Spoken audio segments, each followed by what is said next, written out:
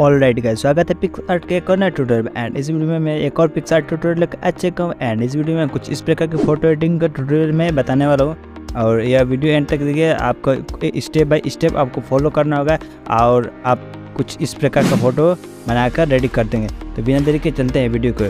तो सबसे पहले आपको बैकग्राउंड की ज़रूरत होगी एंड बैकग्राउंड का लिंक डिस्क्रिप्शन में है तो वहाँ पर जाकर आप चेकआउट कर सकते हैं एंड इसे पिक्स आर्ट में शेयर कर लेते हैं। एंड सेट हो जाने के बाद आपको यहाँ साइड में स्क्रोल अप करना एंड एफेक्ट्स पर जाकर आपको ब्लर आइकन पर टिक करके फ़िज़िकल ब्लर पर, जूम पर क्लिक करके आपको कुछ मिडिल पॉइंट में यहाँ पर एडजस्ट करके छोड़ देना होगा।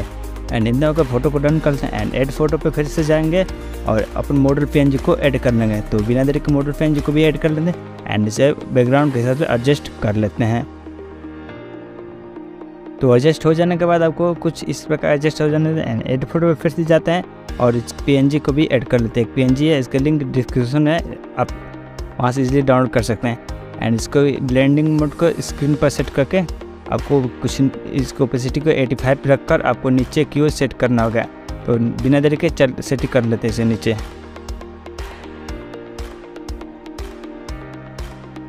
देन इतना हो जाने के बाद आपको फिर से एड फ़ोटो पर जाना होगा एंड सॉरी टेक्स पर जाना होगा।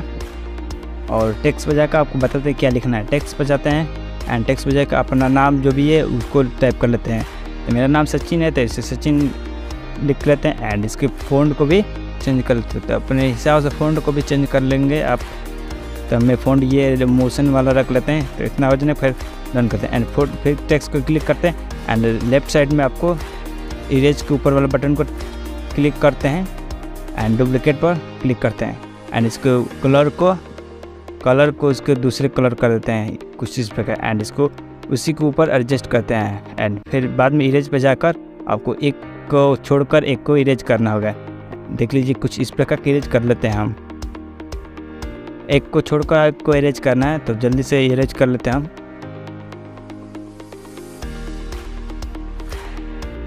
दिन इतना हो जाने के बाद सही का टिक कर लेते हैं। एंड हो जाने के बाद आपको लास्ट में एक और पेन की ज़रूरत पड़ेगी तो एड फ़ोटो पर जाते हैं एंड पी को ऐड कर लेते हैं। तो ऐड कर लेते हैं पी को।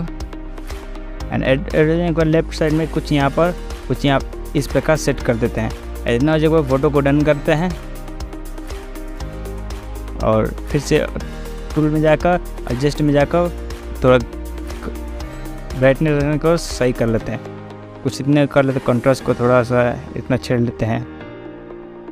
कुछ फ़ोटो के हिसाब से आप लोग छेड़ लेंगे छेड़ छेड़ना इसे।